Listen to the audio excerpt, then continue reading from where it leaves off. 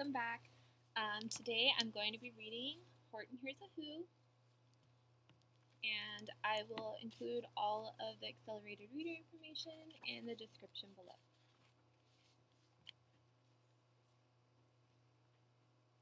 On the 15th of May, in the jungle of Nool, in the heat of the day, in the cool of the pool, he was splashing, enjoying the jungle's great joys, when Horton the elephant heard a small noise. So Horton stopped splashing. He looked toward the sound. That's funny, thought Horton. There's no one around. Then he heard it again, just a very faint yelp, as if some tiny person were calling for help. I'll help you, said Horton. But who are you? Where?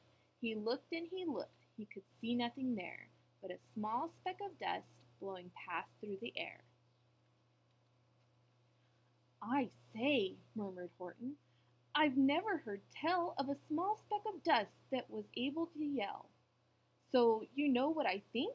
Why, I think that there must be someone on top of that small speck of dust, some sort of a creature, very small size, too small to be seen by an elephant's eyes. Some poor little person who's shaking with fear that he'll blow in the pool. He has no way to steer. I'll just have to save him because, after all, a person's a person no matter how small.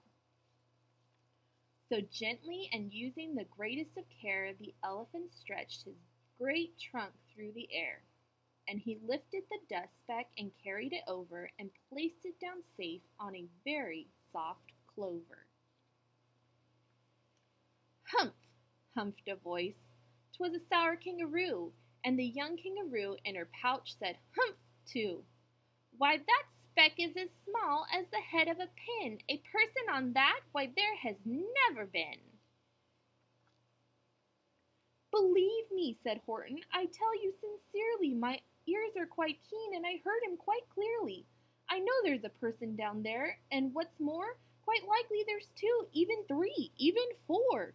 Quite likely a family, for all that we know, a family with children just starting to grow. So please, Horton said, as a favor to me, try not to disturb them. Just please let them be. I think you're a fool, laughed the sour kangaroo. And the young kangaroo in her pouch said, Me too, you're the biggest blame fool in the jungle of Nool. And the kangaroos plunged in the cool of the pool. What a terrible splashing! The elephant frowned. I can't let my very small persons get drowned. I've got to protect them. I'm bigger than they. So he plucked up the clover and hustled away. Through the high jungle treetops, the news quickly spread. He talks to a dust speck. He's out of his head.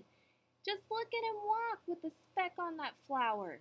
And Horton walked worrying almost an hour. Should I put this speck down? Horton thought with alarm. If I do, these small persons may come to great harm. I can't put it down, and I won't. After all, a person's a person no matter how small. Then Horton stopped walking. The speck voice was talking. The voice was so faint he could just barely hear it. Speak up, please, said Horton. He put his ear near it.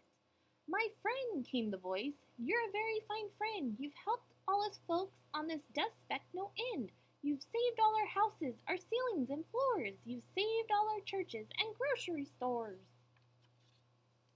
You mean, Horton gasped, you have buildings there too? Oh, yes, piped the voice. We most certainly do, I know, called the voice. I'm too small to be seen, but I'm mayor of a town that is friendly and clean. Our buildings to you would seem terribly small, but to us who aren't big, they're wonderfully tall. My town is called Whoville, for I am a Who, and we Whos are all thankful and grateful to you. And Horton called back to the mayor of the town, You're safe now, don't worry. I won't let you down. But just as he spoke to the mayor of the speck, three, three big jungle monkeys climbed up Horton's neck. The Wickersham brothers came shouting, What rot! This elephant's talking to who's who are not. They aren't any who's, and they don't have a mayor, and we're going to stop all this nonsense, so there! They snatched Horton's clover, they carried it off. to the black bottom eagle named Vlad Vladikoff, a mighty strong eagle of very swift wing, and they said, Will you kindly get rid of this thing? And before the poor elephant even could speak, the eagle flew off with a flower in his beak. All the late afternoon and far into the night, that black bottomed bird flapped his wings in fast flight, while Horton chased after with groans over stones that tattered his toenails and battered his bones, and begged, Please don't harm all my little folks who have as much right to live as the bigger folks do. But far, far beyond him, the eagle kept flapping, and over his shoulder he called back, Quit your yapping! I'll fly the night through. I'm a bird, I don't mind it, and I'll hide this tomorrow where you'll never find it. And at 6:56 the next morning he did. It sure was a terrible place that he hid, that he hid it. He let the small clover drop somewhere inside of a great patch of clovers a hundred miles wide. Find that, sneered the bird, but I think you will fail. And he left with a flip of his black bottom tail. I'll find it, cried Horton. I'll find it or bust. I shall find my friends on my small speck of dust. And clover by clover by clover with care, he picked up and searched them all and called, Are you there? But clover by clover by clover he found that the one that he sought for was just not around. And by poor noon, old Horton, more dead than alive, had picked, searched, and piled up 9,005. Then on through the afternoon, hour after hour, till he found them at last, on the three millionth flower. My friends, cried the elephant, tell me, do tell, are you safe? Are you sound? Are you whole? Are you well? From down on the speck came the voice of the mayor. We've really had trouble much more than our share. When the black bottomed birdie let go and we dropped, we landed so hard that our clocks have all stopped. Our teapots are broken, our rocking chair smashed, and our bicycle tires all blew up when we crashed.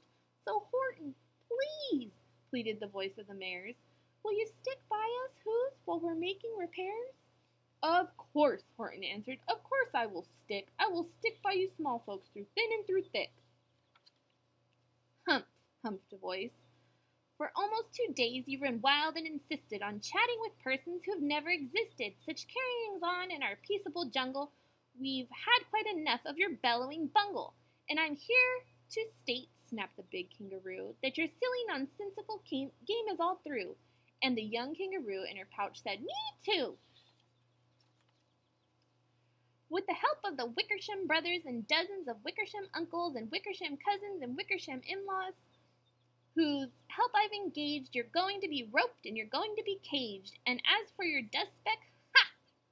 That we shall boil in a hot steaming pot of beezle nut oil. Boil it? gasped Horton.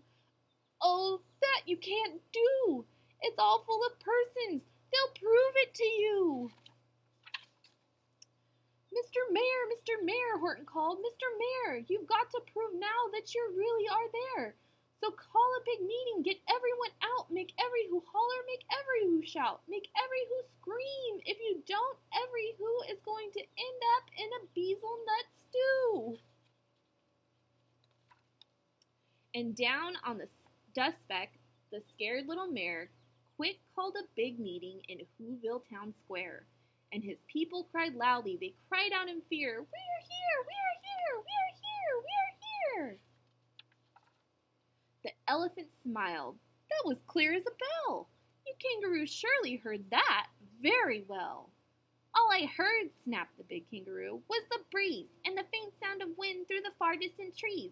I heard no small voices, and you didn't either and the young kangaroo in her pouch said, Me either. Grab him, they shouted, and cage the big dope. Lasso his stomach with ten miles of rope. Tie the knots tight, and he'll never shake loose. Then dunk the dumb speck in the beezle nut juice. Horton fought back with great vigor and vim, but the Wickersham gang was too many for him. They beat him, they mauled him, they started to haul him into his cage, but the but he managed to call to the mayor, Don't give up! I believe in you all. A person's a person, no matter how small. And you very small persons will not have to die if you make yourselves heard. So come on now and try. The mayor grabbed a tom tom. He started to smack it, and all over Whoville they whooped up a racket. They rattled tin kettles, they beat on brass pans, garbage, on garbage pail tops, and old cranberry cans. They blew on bazookas and blasted great toots, on clarinets, oompas and boompas, and flutes.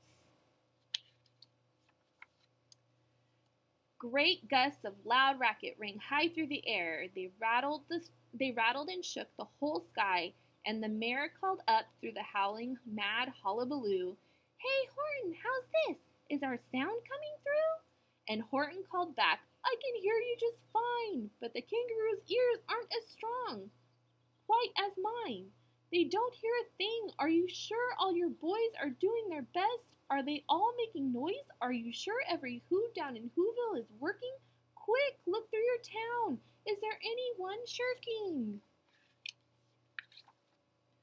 Through the town rushed the mayor from the east to the west, but everyone seemed to be doing his best. Everyone seemed to be yapping or yipping. Everyone seemed to be beeping or bipping. But it wasn't enough. All this ruckus and roar. He had to find someone to help him make more. He raced through each building. He searched floor to floor. And just as he felt he was getting nowhere the, and almost about to give up in despair, he suddenly burst through a door, and that mayor discovered one shirker. Quiet, quite hidden away in the Fairfax apartments, apartment 12J, a very small, very small shirker named Jojo was standing, just standing and bouncing a yo yo, not making a sound, not a yip, not a chirp. And the mayor rushed inside and he grabbed the young twerp. And he climbed with the lad up the Eiffelberg Tower. This, cried the mayor, is our town's darkest hour. The time for all who's who have blood that is red to come to the aid of their country, he said. We've got to make noises in greater amounts. So open your mouth, lad, for every voice counts. Thus he spoke as he climbed. When they got to the top, the lad cleared his throat and he, he shouted out, Yop! And that yop, that one small extra yop, put it over. Finally, at last, from that, that speck on that clover, their voices were heard. They rang out clear and clean and the elephant smiled. Do you see what I mean? They've proved they are persons, no matter how small, and their whole world was saved by the smallest of all. How true! Yes, how true, said the big kangaroo. And from now on, you know what I'm planning to do? From now on, I'm going to protect th them with you. And the young kangaroo in her pouch said, Me too. From sun in the summer, from rain when it's fallish, I'm going to protect them I'm going to protect them no matter how smallish. The end.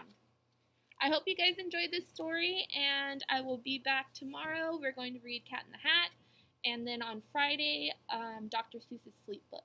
So stay tuned. Bye, guys.